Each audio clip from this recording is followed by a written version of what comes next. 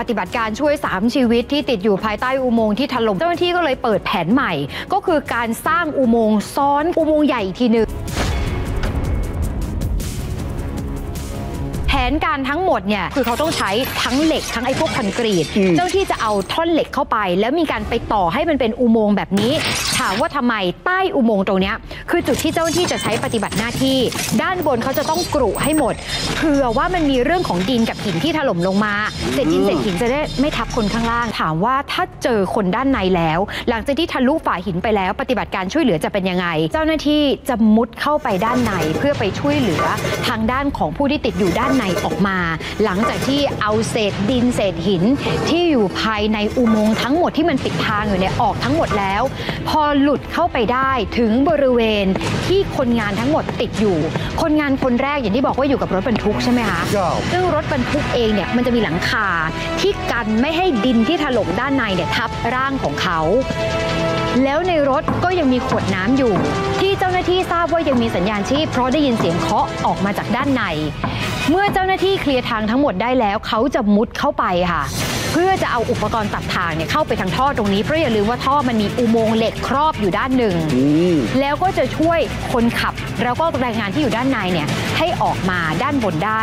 ตอนนี้มีการเอาทีมแพทย์เนี่ยเข้าไปสแตนบายก็คือพวกเปลสนาม แล้วก็รถกู้ภัย หลังจากนั้นแผนที่ตามมาคือจะนำตัวคนเจ็บไปส่งโรงพยาบาลให้ได้โดยเร็วที่สุด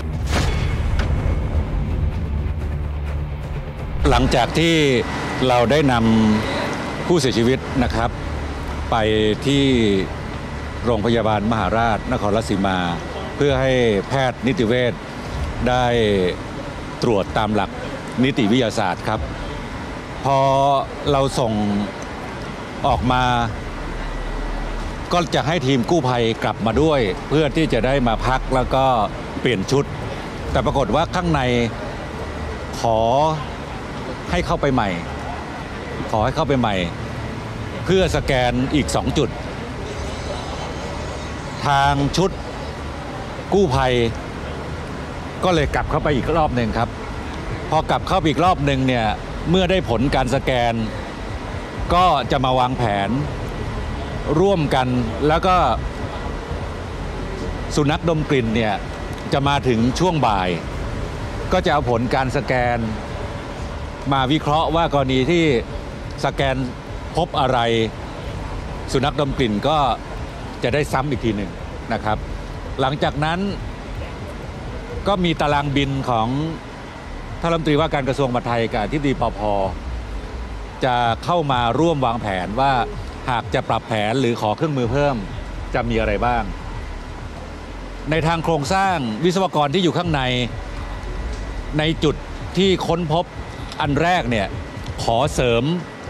ความแข็งแรงอีกรอบหนึ่งครับ แต่จุดที่จะสแกนเนี่ยก็สแกนได้อยู่ครับ เมื่อผลเป็นยังไง แล้วจะต้องเสริมตรงไหน ก็จะดำเนินการตามร้องขอของทีมที่อยู่ข้างในครับครับท่านผู้ว่าตอนนี้เท่ากับว่าดินเนี่ยยังเป็นอุปสรรคใหญ่อยู่ไหมคะใช่ครับ ดินยังเป็นอุปสรรคใหญ่ แรกสุดเนี่ยตอนที่เราจะนำร่างผู้ เคราะห์ร้ายเนี่ยออกมาเนี่ยทางกู้ภัยตั้งใจจะนำออกมาเมื่อพบเลย แต่ปรากฏว่าความแข็งแรง เนื่องจากว่าเราต้องเจาะสองเจาะเจาะที่หนึ่งก็คือหินที่ขวางอยู่เจาะที่สองก็คือแผ่นปูน ซึ่งไม่ทราบว่ามันมันมันขวางอยู่อีก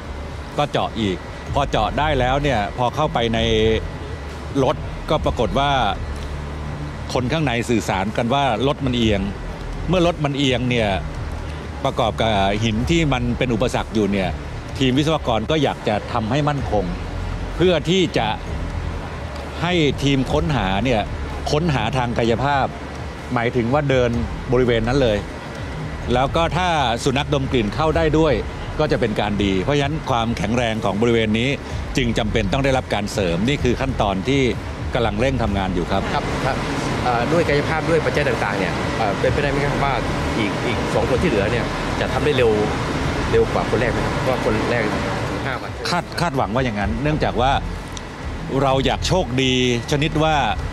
เดินเข้าไปจุดที่อยู่ข้างรถ ซึ่งมันมีพอพอมีที่ว่างเนี่ยแล้วใช้กล้องได้ ใช้สุนัขดมกลิ่นได้ ใช้ไฟฉายส่องได้เราเรา